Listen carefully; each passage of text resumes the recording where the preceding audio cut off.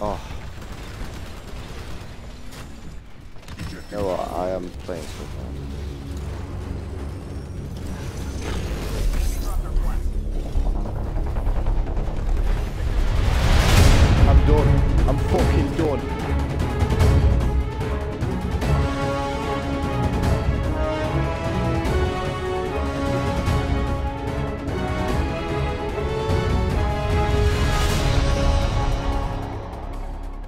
Hello, and welcome back to Titanfall Top Plays, episode number 16. Uh, we're going to get started right away just because this clip starts right away. Uh, number 5 is going to be Sith Bazarite playing some pilot skirmish on Angel City. Got his Kraber with AOG scope, quick scope, quick scope, quick scopes, quick scopes all day.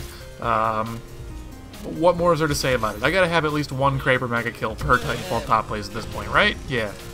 Looming in the number 4 spot, we have Oscar, or I guess I should say RTS Oscar.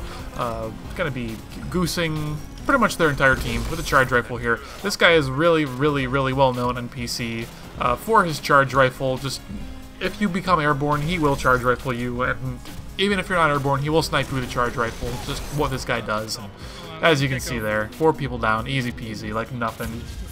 At number three, we have yet again Sith Bazarite with another Kraber clip, and I know I already have two from him in this video, but I like this one a little bit better just because there's a lot more movement in this one. It's a lot more, it's a lot more parkoury, it's a lot more essence of Titanfall, you know, blah blah blah, whatever. So uh, that's kind of just the reason why I like it better, and I really, really, really love the very last kill within this clip. Like, just look at that. I, I don't think I would have made that shot, honestly.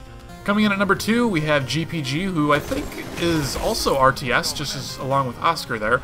Um, so we're going to be going ahead and looking at him trying to defend his um, his flag in the CTF on Haven.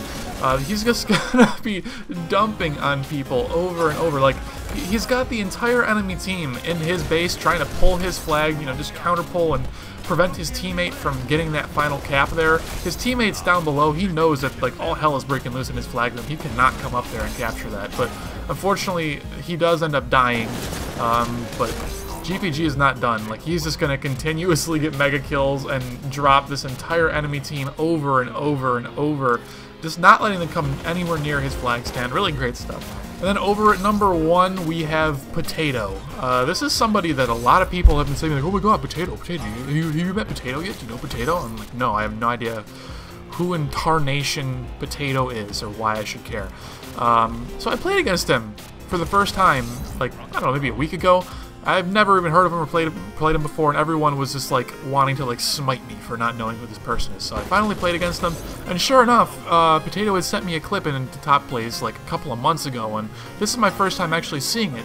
So this is just a really, really uh, awesome clip. He's playing um, CTF on what is this? Was it? A corporate, as you guys can already tell from like the minute I've been talking about this already, but.